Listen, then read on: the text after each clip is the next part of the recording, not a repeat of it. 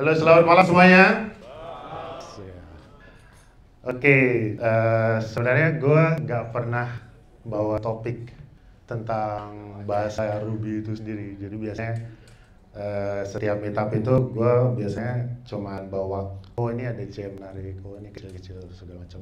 Cuman ini temanya kayaknya berat banget sih ya, Eh, Ruby performance. Gue aja mungkin nggak sampai sebegitunya dipakai setiap hari dari semua fitur-fitur yang ada di Ruby yang berkaitan dengan performance.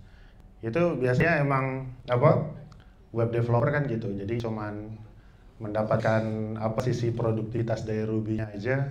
Sedangkan untuk performance-nya itu sendiri nggak terlalu banyak dipakai. Tapi nggak ada salahnya kalau misalkan kita sama-sama belajar.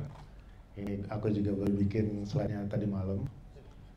Yuk kita sama-sama mempelajari sebenarnya Ruby 2.6 ini akan memberi kita apa aja sih. Di sini yang pakai Ruby 2.5 tunjuk tangan. 1 2 3 4 2.4 Oke, semakin banyak. 2.3 Masih.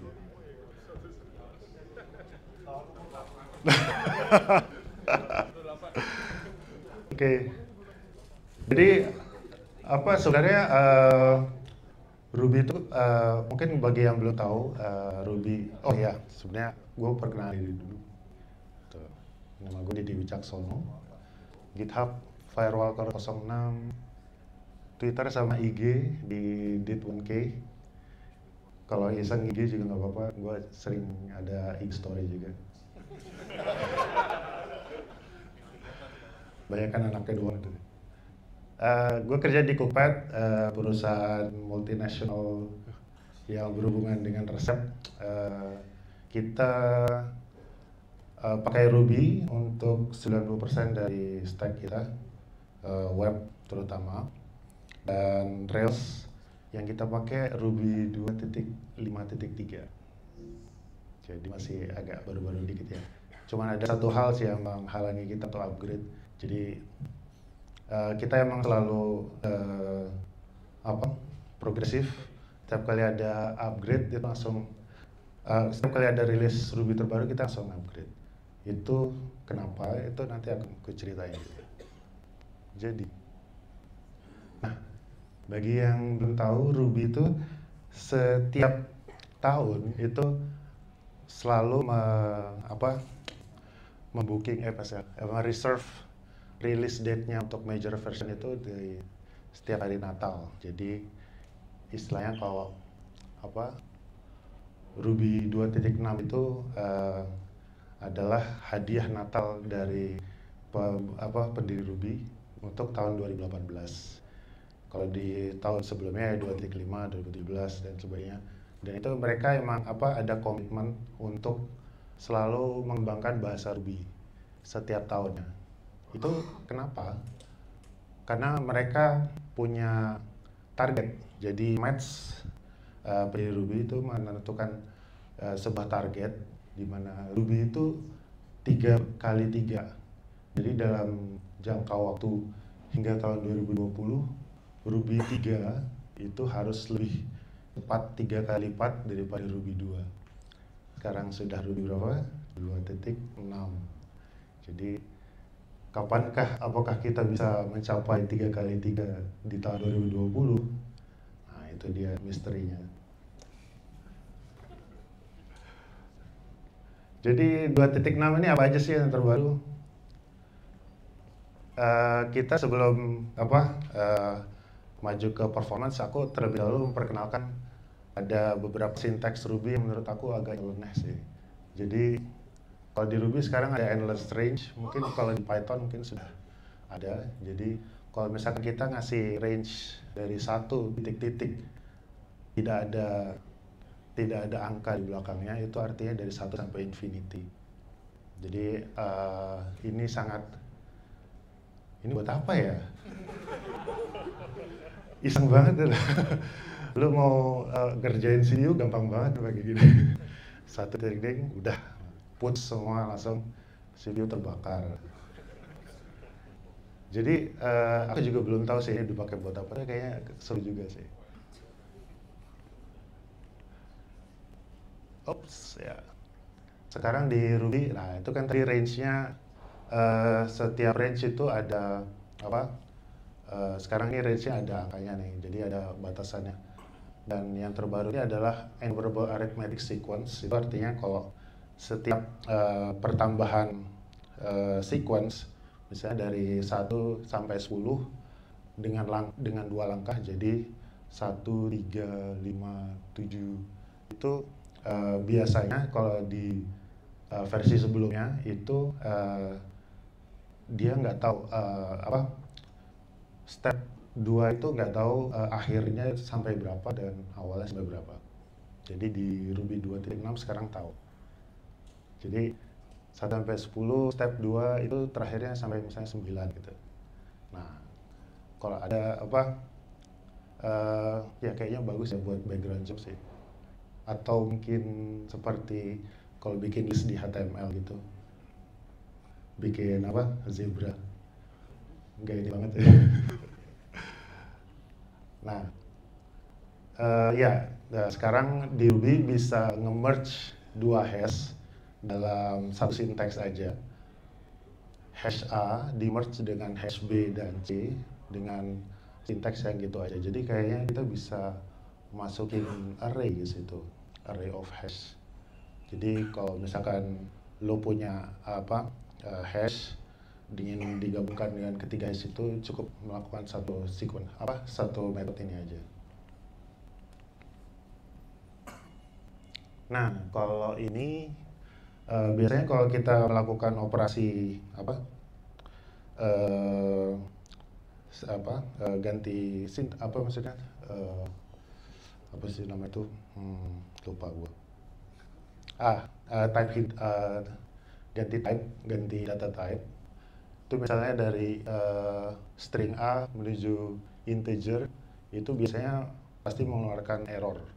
Nah, kalau sekarang di Ruby 2.6 itu ada option namanya exception yang bisa dikasih false. Jadi kalau misalkan uh, kita mau ganti apa dari string ke integer, kalau integer ke float dan segala macam, kalau misalkan ada exception itu bisa dihilangkan. Nah ini biasanya kalau di kasus-kasus kayak background job tadi nggak pengen jobnya di retry terus, nah itu kalau misalkan ketemu error kayak gini bisa diloloskan uh, gitu. Dan ini random bytes ya jadi ya cuma buat ng ngasih random bytes aja sih. Biasanya kalau ini di Ruby sebelumnya itu kita harus import library dulu namanya secure random terus kemudian dot bytes. Nah sekarang ada metode namanya random bytes. Kurang lebih sama. Jadi sebenarnya cuma apa nambahin metode baru aja tanpa harus import library. Dan ini nah ini apa uh, memperkenalkan sinteks uh, persen untuk range. Jadi persen uh, persen itu sama dengan kalau itu namanya step. Jadi uh, range-nya ini uh, itu kan dari 0 sampai tak hingga dan dia maju setiap step setiap langkah itu maju dua itu bisa digantikan dengan persen sebenarnya gue lebih prefer untuk lebih apa deskriptif ya cuma dot step gitu. Kadang-kadang gue juga bingung kalau persen ini antara modus atau bukan. Jadi uh, eh, gue juga apa agak-agak kurang setuju dengan improvement ini gitu. Jadi seperti itu. Uh, jadi sebenarnya kalau di apa pengembangan bahasa itu kita nggak se, harus setuju 100% dengan semua perkembangannya sih Cuman kalau misalkan apa uh, kita bisa melihat sebenarnya dia cuma nge-save tiga huruf doang, ya itu lumayan lah. Nah, ini kalau uh, improvement ini uh, ini kebetulan dikembangkan oleh kolega di Cookpad. Uh, dia mengembangkan namanya transition heap. Jadi itu uh, adalah uh, apa performance improvement untuk uh, objek yang hidup masa hidupnya tuh rendah. Jadi kalau misalkan kita punya uh, task yang cuma sekali jalan seperti misalnya background job atau uh, ya untuk seperti background job seperti itu. Jadi kalau misalkan apa uh, dia membuat sebuah uh, objek yang selalu dipanggil berkali-kali, itu setiap kali pemanggilan objek tersebut itu akan memakan memori yang lebih rendah uh, sedalam apa memori yang lebih rendah untuk objek-objek uh, yang berikutnya. Jadi uh, ini untuk mengurangi ya tuh problem of memory fragmentation dan slow call untuk memory allocation. Jadi memory allocation ini sebenarnya ngambil dari C. Itu bagaimana Ruby interpreter yaitu uh, eh, MRI ini uh, merequest memory dari operating system. Jadi kurang lebih kalau misalkan kita punya hash yang uh, apa elemennya banyak gitu itu bisa menghemat kira-kira ada berapa 6 persen 5 persen gitu untuk yang setiap kali pemanggilannya tapi sebenarnya untuk objek-objek yang di lebih dari 10 elemen itu sebenarnya pemakaiannya sama aja. Nah, cuman ini uh, seenggaknya ada improvement untuk objek-objek yang jumlahnya seperti lebih sedikit, sekitar 10 elemen. Nah, di Ruby 2.6 ini ada sesuatu yang beda dari sebelumnya. Jadi uh, uh, MRI uh, atau Ruby itu uh, saat ini kan compilationnya AOT ya, ahead of time. Jadi yang apa uh, setiap apa uh, programnya dikompil dulu kemudian uh, baru dijalankan. Sedangkan kalau yang ini uh, ini dia dikompil uh, just in time jadi uh,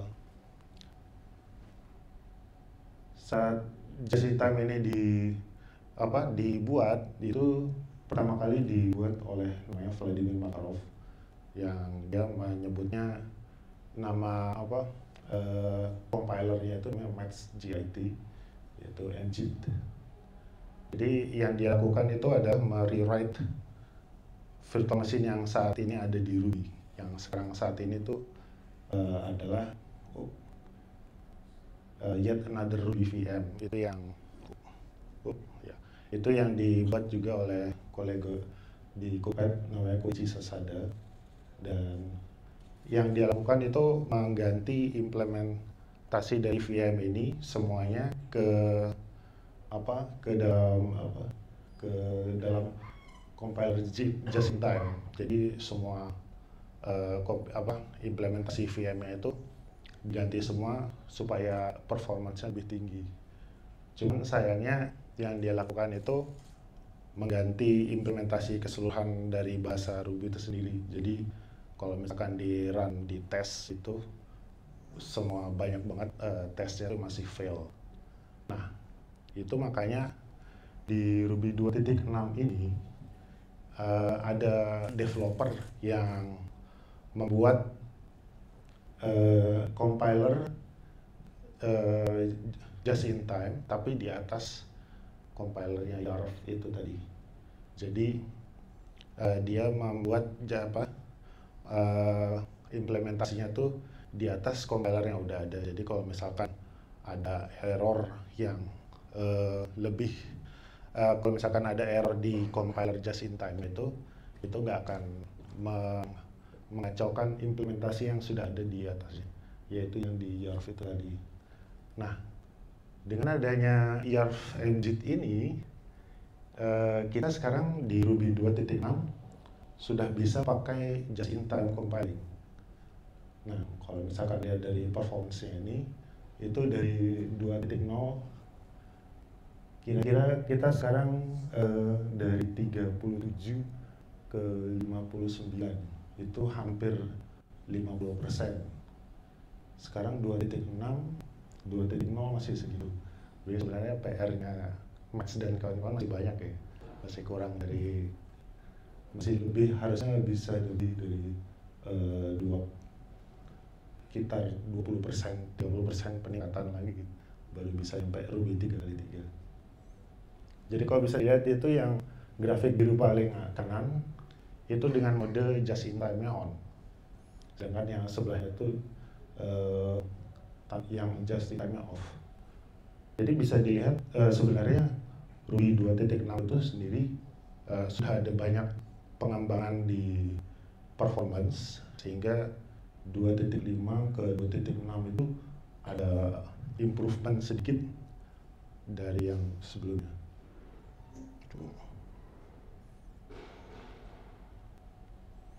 Nah, jadi di 2.6 itu sebenarnya gampang banget untuk merun Ruby dengan just in time.